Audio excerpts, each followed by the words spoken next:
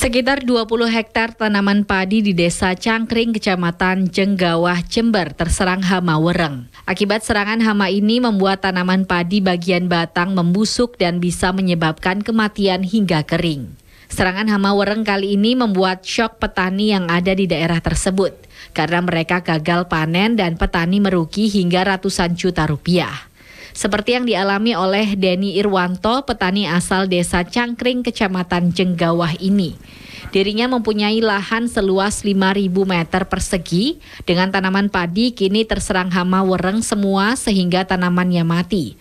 Dan dirinya kali ini merugi jutaan rupiah. Dirinya berharap kepada pemerintah daerah maupun dinas yang terkait akan bisa memberikan solusi pada petani supaya petani tidak mengalami kerugian yang cukup besar.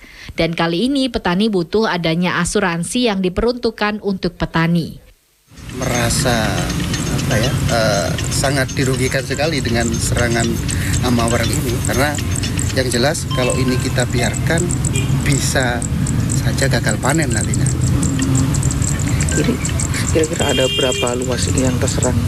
Kalau untuk yang saya garap pribadi untuk punya saya ini kurang lebih sekitar 5000 5000 meter persegi. Oh. sedangkan untuk ini daerah sekitar sini yang terserang ini kurang lebih ada sekitar 20-an hektar yang Feliko Sasi, CTV